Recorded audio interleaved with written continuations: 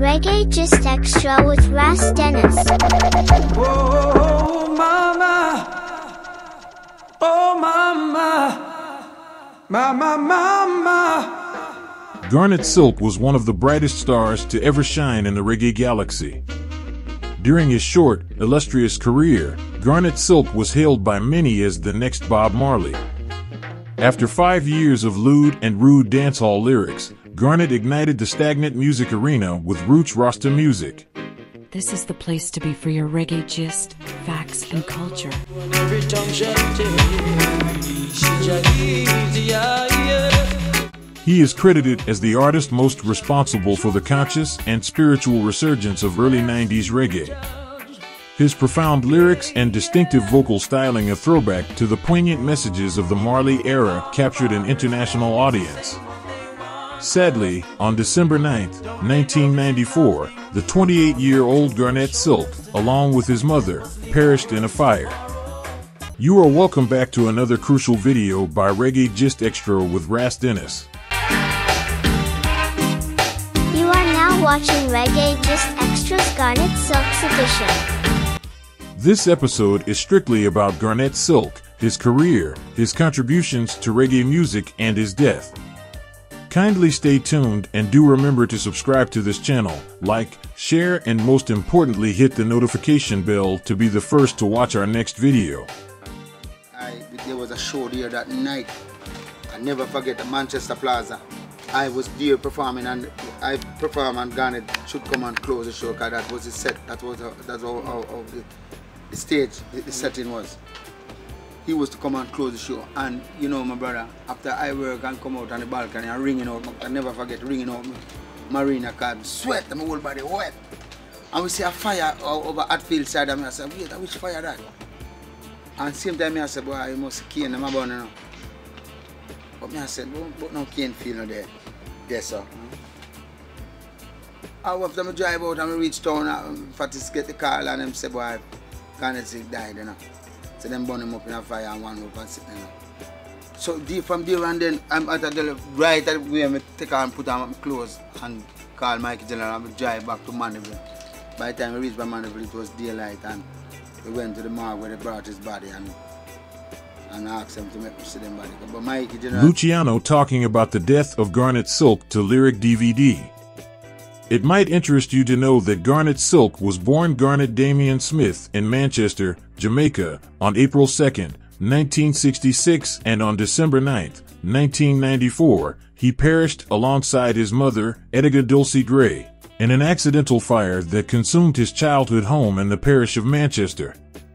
Family, friends, music industry colleagues, and fans worldwide were shocked and saddened by his unexpected and heartbreaking death. The tragedy occurred inside this one room house around midnight. According to official report, Garnett Silk had borrowed a pair of guns from his attorney after his home had been burglarized, but had no idea how to use it. Sitting with a couple of friends at his mother's house in Mandeville, Jamaica, on December 9th, one offered to show him how it worked. At this point, the gun accidentally misfired, hitting a propane tank and setting the house ablaze. The singer, his friends, and his two brothers made it out safely, only to discover that Silk's mother was still trapped inside. Silk rushed back into the house to save her, but it was too late, and both were lost in the fire. It should be noted that the said one room house is still standing there till today.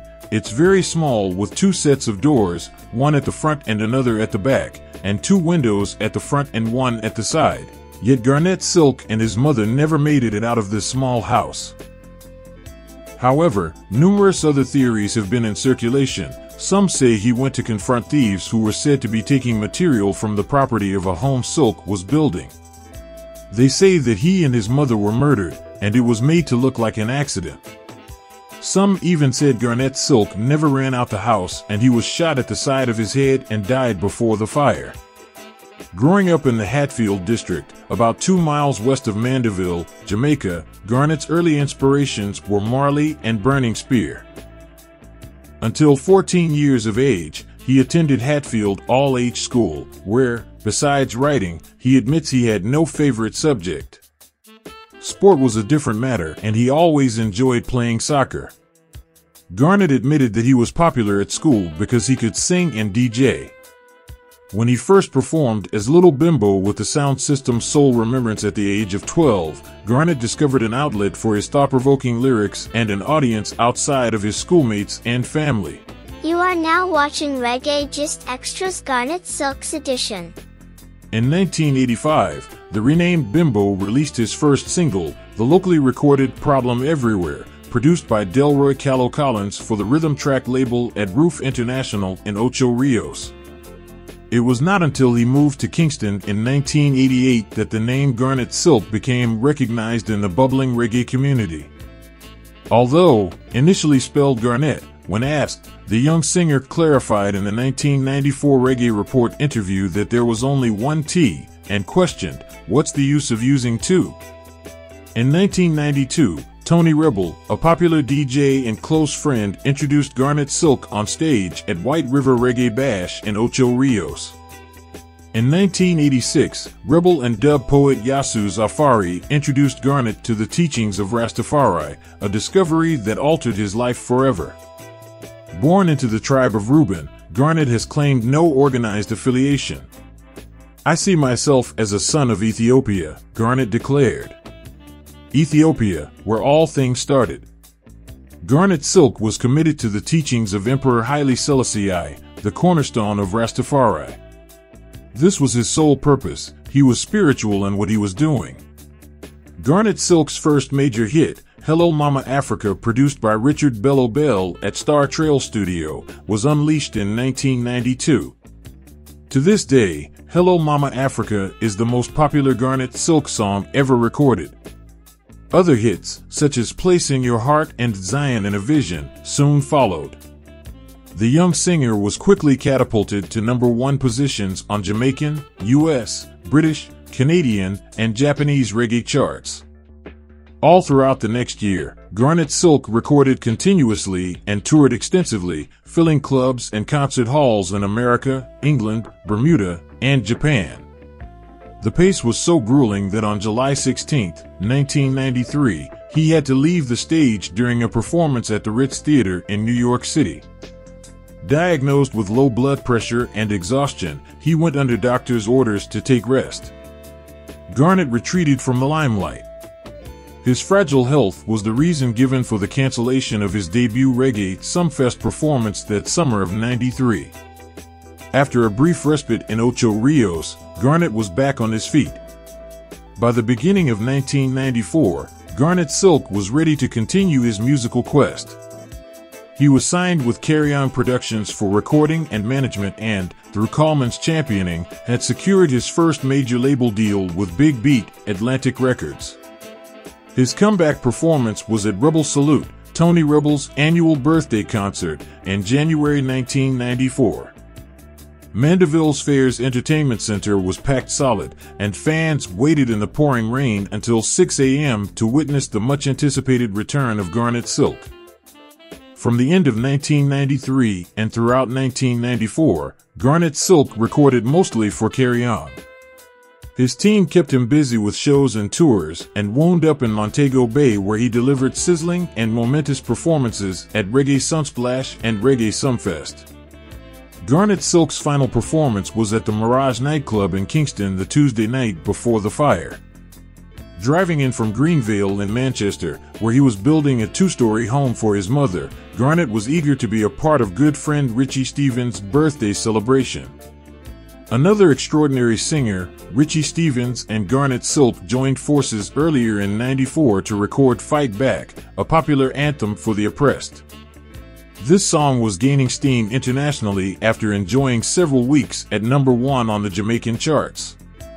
His philosophy and favorite quote sum up Garnet Silk's life Seek ye the kingdom of God, and all necessary things shall and will be added to you. Love your mummy and daddy and your brothers and sisters as you love yourself, and love Jah with all your heart. Be obedient, kind, and willing, and you will live forever. Garnet lived and died for his family, and the legend will live on through his beloved seven children. His devoted wife Lovey bore their fourth child, a son rightly named Garnet Jr., on April 3, 1995, only a few months after the fire and one day after his famous father's birthday. Silk's music has been kept alive by several tributes, including Macka B's tribute to Garnet Silk and the Earth Day concert, and numerous compilation albums, including two collections of his dubplates, Kilimanjaro Remembers Garnet Silk, Jam Down, 1999, and Rule Dim, Trojan, Sanctuary 2006. Silk's son Garnet Smith Jr. has followed him into a career in music. Silk's nephew, Anthony Cruz recorded a tribute album in 2013 featuring cover versions of 15 of Silk's songs. His inner light and childlike joy are forever deeply missed, yet he will live on through his music and message. Thanks for watching and do remember to subscribe, give it a like and post a positive comment in the comment section below and I'll see you again very soon for another video. Many thanks for watching Reggae Gist Extra with Ras Dennis.